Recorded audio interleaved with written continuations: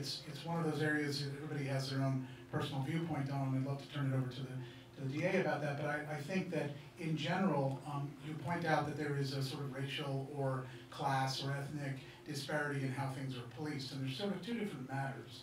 You know, I look at drugs as a public health concern that has uh, an overlap with things like violence, it has an overlap with, at times, you know, it's sort of like I'm confused why we ever started thinking about drugs differently than we think about alcohol.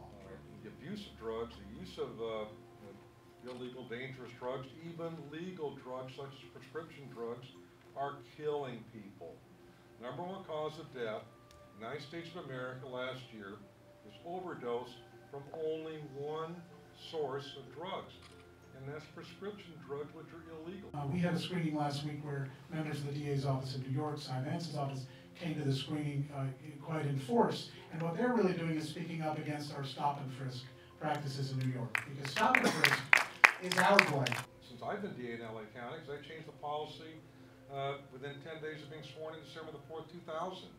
So the presumption is you'll not see 25 to life for a nonviolent, non-serious new predicate felony.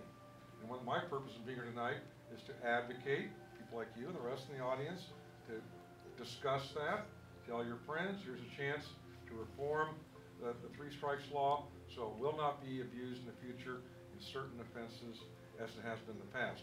This proposal allows for remediation, the opportunity for the original sentencing court when the new uh, predicate felony was uh, not violent or not serious, to go back and look at that previous sentence and terminate it and let the person out. So it can be retroactive. Yeah, it's it's retroactive through a mediation.